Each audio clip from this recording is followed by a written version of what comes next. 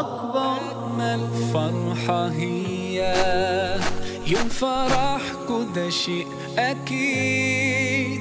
ذكريات الليلة دي حضرة مش ممكن تغيب. إحساس اليوم